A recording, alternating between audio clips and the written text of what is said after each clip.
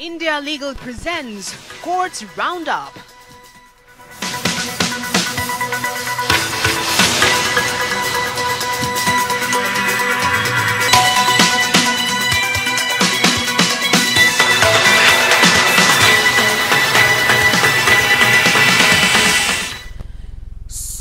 Supreme Court ने प्रवर्तन निदेशालय के निदेशक संजय कुमार मिश्रा के कार्यकाल विस्तार को अवैध करार दिया है हालाँकि कोर्ट ने साथ ही विधेयक के ज़रिए ईडी निदेशक के कार्यकाल में बदलाव को सही ठहराया।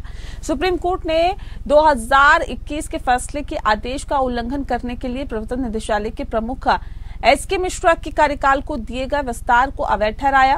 फैसले में कहा गया था कि उन्हें और विस्तार नहीं दिया जाना चाहिए। शीर्ष अदालत ने मिश्रा के एक्सटेंशन को अवैध बताने बताते हुए ईडी निदेशक इस पद पर 31 जुलाई 2023 तक बने रह सकते हैं, कहा साथ ही साथ ताकि सुचारू सत्ता परिवर्तन हो सके।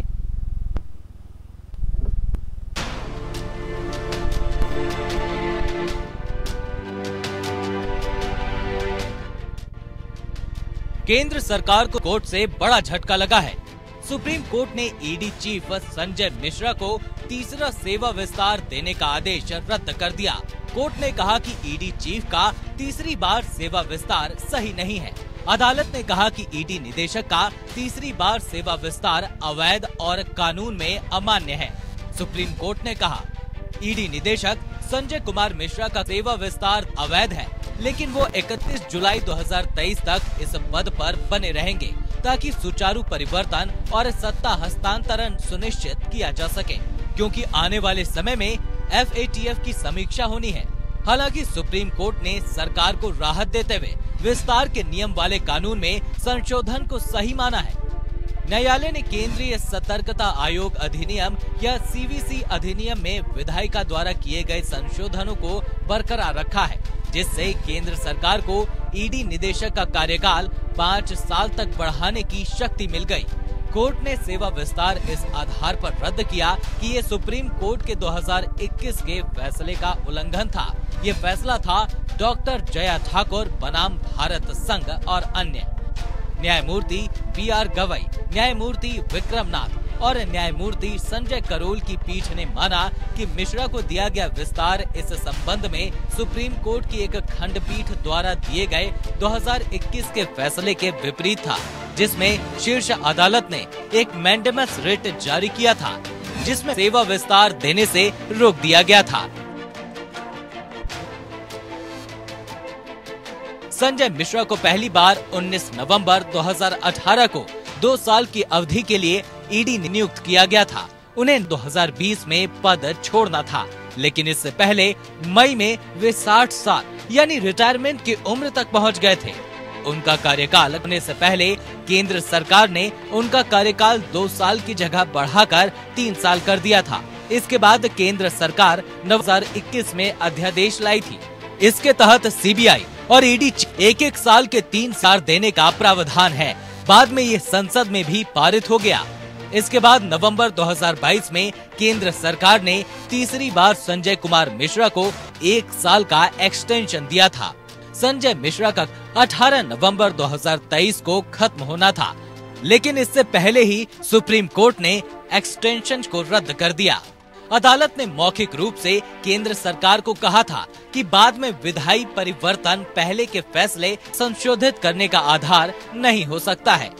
Bureau report.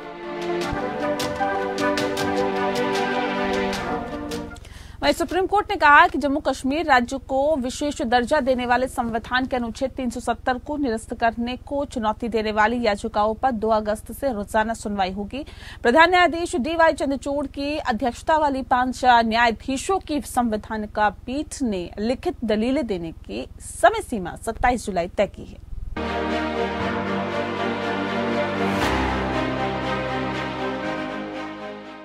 अनुच्छेद 370 हटाने के मामले में सुप्रीम कोर्ट में सुनवाई हुई। इस दौरान कोर्ट ने कहा कि याचिकाओं पर 2 अगस्त से रोज़ाना सुनवाई होगी। अनुच्छेद 370 पर सुनवाई फास्ट ट्रैक मोड में 2 अगस्त से होगी। सुनवाई हफ़्ते में तीन दिन, मंगलवार, बुधवार और गुरुवार को होगी। सुप्रीम कोर्ट ने कहा कि केंद्र में जम्मू कश्मीर के हालात को लेकर दाखिल नए हलफनामे को लेकर सुनवाई नहीं करेगा। सीजीआई ने कहा कि वो सिर्फ़ संवैधानिक मुद्दे पर सुनवाई करेगा।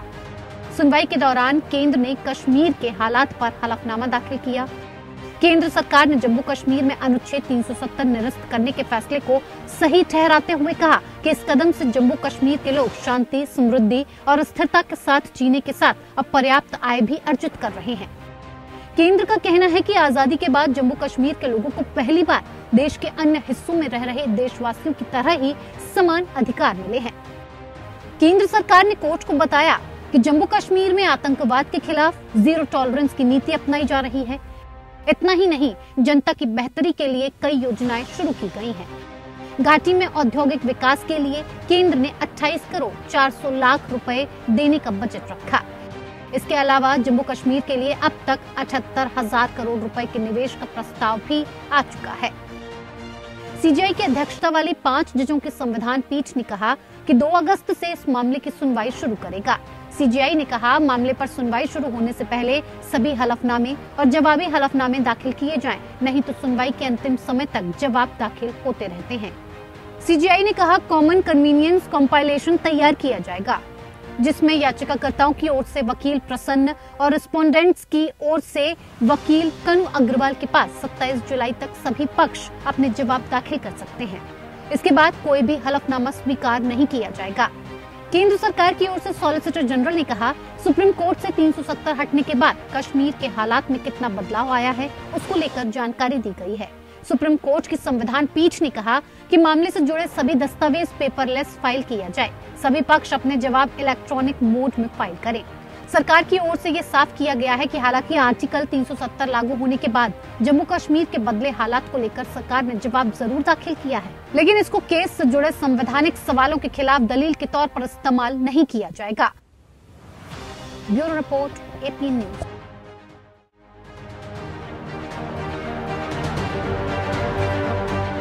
कहा वहीं सुप्रीम कोर्ट में पूजा स्थल कानून उन्नीस सौ इक्यानवे को चुनौती देने वाली याचिका पर सुनवाई हुई। इस दौरान कोर्ट ने केंद्र सरकार को जवाब देने के लिए तीन महीने का और वक्त दिया। कोर्ट ने कहा कि विवादित धार्मिक स्थलों से संबंधित देश भर की विभिन्न अदालतों में लंबित विभिन्न मुकदमों और कानूनी कार्रवाई पर रोक लगाने के आदेश देने के लिए पूजा स्थल कानून का सहारा नहीं लिया जा सकता। कोर्ट ने कहा कि किसी भी अदालत में सुनवाई के दौरान ये बताना ज़रूरी होगा कि सुप्रीम कोर्ट ने पूजा स्थल कानून पर रोक नहीं लगाई।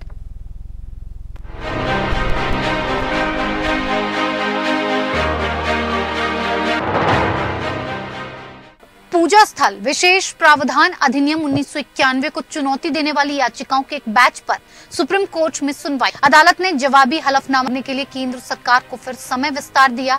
सुप्रीम कोर्ट ने कहा कि केवल याचिकाओं के लंबित और कानूनी कार्यवाही पर अंतरिम रोक का मतलब ये नहीं है कि अधिनियम पर रोक लगा दी गई है। कोर्ट ने कहा कि विवादित धार्मिक स्थलों से संबंधित देश भर की विभिन्न अदालतों में लंबित विभिन्न मुकदमों और कानूनी कार्यवाही रोक लगाने का के लिए पूजा स्थल, विशेष प्रावधान अधिनियम उन्नीस का सहारा नहीं लिया जा सकता। प्रधान न्यायाधीश डीवाई चंद्रचूड़ और न्यायमूर्ति पी एस नर्स और न्यायमूर्ति मनोज मिश्रा ने कहा कि हर मामले के पक्षों को संबंधित अदालत से ये बताकर स्थगन की मांग करनी होगी कि पूजा स्थल अधिनियम लागू है और शीर्ष अदालत पर रोक नहीं लगाई है। ये टिप्पणी तब की जब वकील वृंदा ग्रोवर ने कोर्ट से कार्यवाही पर रोक लगाने की याचिका पर विचार करने का आग्रह किया। इस एक्ट के कई प्रावधानों के खिलाफ कोर्ट में याचिकाएँ दायर की। एक्ट के अनुसार किसी धार्मिक स्थल की मान्यता को नहीं बदला जा सकता है। भले ही उन्नीस में देश के आज़ाद होने से पहले वो किसी नेता के धार्मिक स्थल को गिराकर बनाया गया हो। अदालत अश्विनी कुमार उपाध्याय की याचिका पर सुनवाई कर रही थी, जिसमें अधिनियम को इस आधार पर चुनौती दी गई थी कि वो जैनियों बौद्धों, कानूनी उपचारों पर रोक लगाकर इतिहास के आक्रमणकारियों के अवैध कृत्यों को हमेशा के लिए जारी रखने की अनुमति देता है। याचिका में ये कि क्या अधिनियम की धार की उपधारा एक के द्वारा निर्धारित कट ऑफ़ तिथि 15 अगस्त उन्नीस भेदभाव पूर्ण और स्पष्ट रूप से मनमानी है और संविधान के अनुच्छेद इक्कीस, पच्चीस, छब्बीस की उपधारा एक का उल्लंघन है। क्या धारा चार की उपधारा दो के दूसरे भाग में अनुच्छेद दो सौ अनुच्छेद बत्तीस के तहत कार्यवाही की, जो संविधान के तहत एक मौलिक अधिकार है? क्या धारा चार की उपधारा, दो का प्रावधान, उन वादों, अपीलों और कानूनी कार्यवाही को जारी रखने की अनुमति देता है, जहाँ उन्नीस के बाद पूजा स्थल के धार्मिक चरित्र को बिगाड़ा गया। न्यायालय ने कहा कि उसके द्वारा कोई पूर्ण स्थगन नहीं दिया जा सकता है। केंद्र सरकार को अपना जवाब दाखिले तीन महीने का समय और दिया गया और मामले को स्थगित कर दिया गया।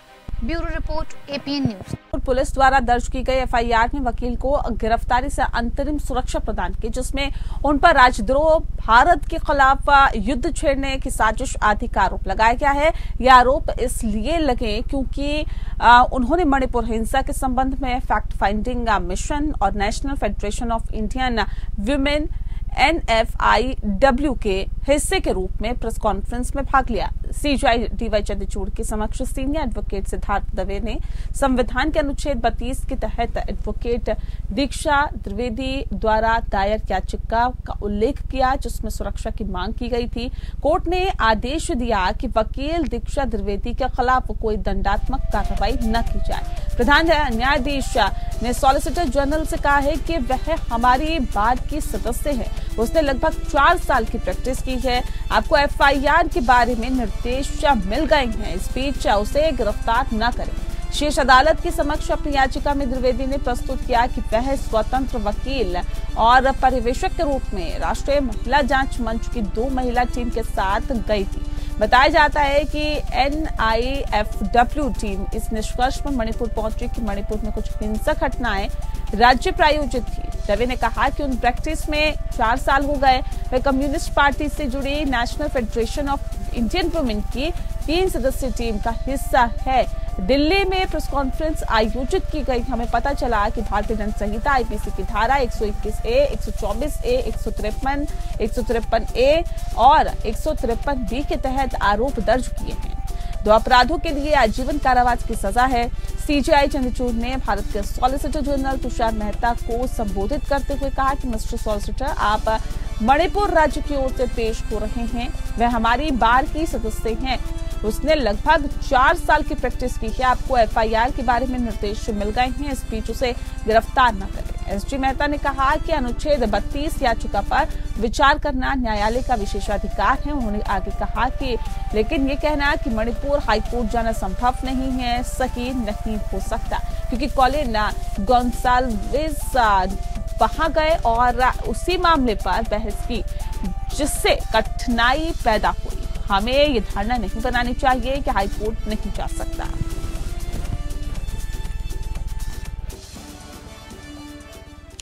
वहीं सेबी ने अदानी हिंडनबर्ग मामले के संबंध में सुप्रीम कोर्ट के समक्ष इकतालीस पृष्ठों का हलफनामा दायर किया। सेबी ने अपने हलफनामे में शीर्ष अदालत से उचित आदेश भी मांगा है और सेबी की तरफ़ से पेश सॉलिसिटर जनरल से सीजीआई ने पूछा कि सेबी की तरफ़ से जो जाँच चल रही है, उसकी स्टेटस क्या है? सॉलिसिटर जनरल ने मामले की सुनवाई को टालने की मांग करते हुए कहा कि सोमवार की शाम को हमने जवाब फाइलिंग के तहत दाखिल किया है। इस पर कोर्ट ने कहा है कि सभी पक्षों को सेबी ने जवाब, की कॉपी देने को कहा और प्रशांत भूषण ने कहा कि कमेटी के रिपोर्ट के मुताबिक सेबी की जाँच फेल है। सेबी किसी सकारात्मक नतीजे तक नहीं पहुँच सकती है। सीजीआई ने याचिकाकर्ता की उस दलील को नकार दिया, जिसमें उन्होंने दावा किया कि कमेटी को एजेंसी सपोर्ट नहीं कर रही है। उन्होंने कहा कि हमने 14 अगस्त तक जाँच पूरी करने का समय सेबी को दिया है। ऐसे में जाँच रिपोर्ट को आने दें। अमेरिकी शॉर्ट सेलर, हिंडनबर्ग ने अदानी समूह पर शेयरों में हेराफेरी करने का आरोप लगाया था। इसके बाद ये मामला सुप्रीम कोर्ट पहुँचा। सुप्रीम कोर्ट ने मामले में स्पेशल कमेटी का गठन किया था, जिसकी रिपोर्ट अदालत को सौंपी जा चुकी है। वहीं दूसरी ओर सेबी को भी जाँच के आदेश दिए गए थे। सुप्रीम कोर्ट ने अदानी समूह के खिलाफ हिंडनबर्ग रिपोर्ट में लगाए गए आरोपों की जाँच करने के लिए सेबी को बीते 17 मई को तीन महीने का अतिरिक्त वक्त दिया गया था। बता दें आपको कि हिंडनबर्ग रिपोर्ट में अदानी समूह पर लगाए गए आरोपों की जाँच के लिए सेबी को 14 अगस्त तक का समय दिया गया है। ऐसे में सेबी ने मामले की जाँच के लिए अतिरिक्त छह महीने की मांग की थी। यमुना की सफ़ाई से जुड़े उच्च स्तरीय समिति का अध्यक्ष उपराज्यपाल को बनाए जाने के एनजीटी के फैसले के खिलाफ दिल्ली सरकार द्वारा याचिका पर सुप्रीम कोर्ट ने सुनवाई करते हुए केजरीवाल सरकार को बड़ी राहत दी है। सुप्रीम कोर्ट ने यमुना की सफ़ाई से जुड़े उच्च स्तरीय समिति का अध्यक्ष उपराज्यपाल को बनाने के फैसले पर रोक लगा दी है। एनजीटी के फैसले पर सुप्रीम कोर्ट ने रोक लगाई है, साथ ही सुप्रीम कोर्ट ने दिल्ली सरकार की याचिका पर नोटिस जारी किया है। दिल्ली सरकार की तरफ़ से वकील अभिषेक मनु सिंघवी ने एनजीटी के आदेश पर रोक लगाने की मांग की थी। दिल्ली सरकार ने सुप्रीम कोर्ट में नेशनल ग्रीन ट्रिब्यूनल यानी एनजीटी के उस आदेश को चुनौती दी थी, जिसमें यमुना सफ़ाई के मामले में उपराज्यपाल को हाई लेवल कमेटी का अध्यक्ष बनाया गया था। दिल्ली सरकार का कहना था कि एनजीटी का ये आदेश दिल्ली में गवर्नेंस की संवैधानिक योजना और सुप्रीम कोर्ट की संवैधानिक पीठ के आदेशों का उल्लंघन है। हाल ही में सुप्रीम कोर्ट ने एक मामले पर फैसला सुनाते हुए कहा था कि दिल्ली में तीन विषयों को छोड़कर बाकी सब विषयों पर चुनी हुई सरकार का अधिकार है। इसी साल जनवरी के महीने में एनजीटी ने एक आदेश जारी करते हुए यमुना नदी प्रदूषण के मुद्दे को हल करने के लिए दिल्ली में अलग अथॉरिटी वाली इस कमेटी का गठन करते हुए उपराज्यपाल को इसका अध्यक्ष बनाया था। केजरीवाल सरकार ने सुप्रीम कोर्ट में दायर की गई याचिका में कहा था कि दिल्ली सरकार यमुना के प्रदूषण को दूर करने और उप उपचारात्मक उपायों को लागू करने के लिए अंतर विभागीय कोऑर्डिनेशन की आवश्यकता को स्वीकार करती है। लेकिन एनजीटी के आदेश के ज़रिए एलजी को दी गई कार्यकारी शक्तियों पर कड़ी आपत्ति जताती है। एलजी को दी गई शक्तियाँ खासतौर पर दिल्ली सरकार की चुनी हुई सरकार के अधिकार क्षेत्रों पर अतिक्रमण करती है।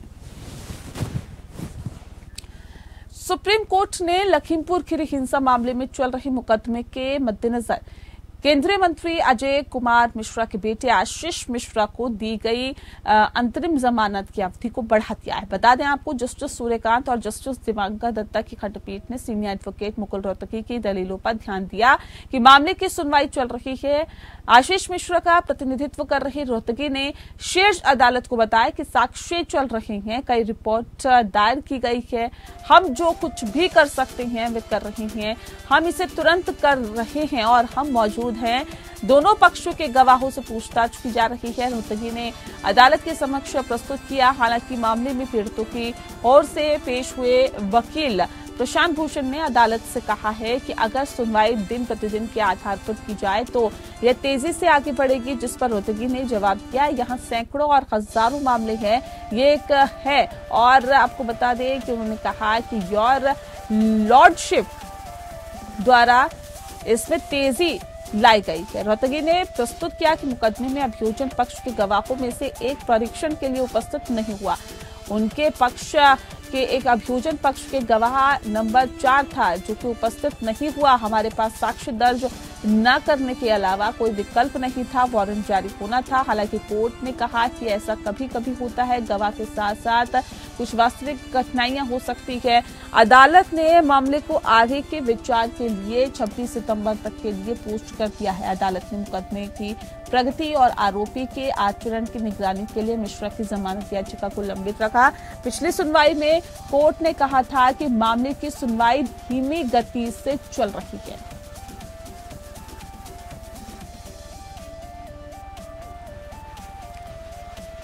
और आइए अब हम आपको बताते हैं कि मॉब लिंचिंग पर सुप्रीम कोर्ट ने क्या दिशा निर्देश दिए हैं।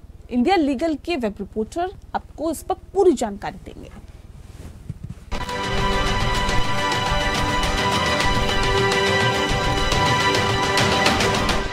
लिंचिंग हिंसा का एक रूप है, जिसमें भीड़ बिना मुकदमा चलाए, न्याय देने के बहाने किसी ऑफेंडर को अक्सर यातना देने और शारीरिक क्षति पहुँचाने के बाद फांसी दे देती है। मॉब लिंचिंग को रोकने के लिए सुप्रीम कोर्ट ने कुछ गाइडलाइंस दी हैं in Tehseen Poonawalla versus Union of India 2018 में। स्टेट गवर्नमेंट्स लिंचिंग की घटनाओं को रोकने के लिए या उपाय करेंगे, उनके प्रत्येक ज़िले में एक सीनियर पुलिस ऑफिसर को अपॉइंट करेंगे।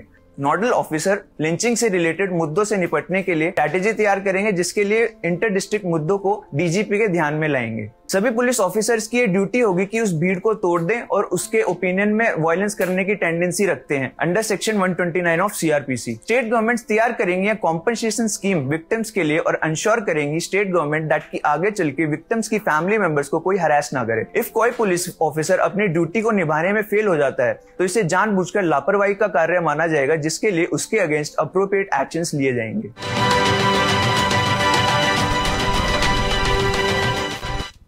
और इसी के साथ कोर्ट्स राउंड अप में इतना ही। नमस्कार। India Legal presents courts round Roundup.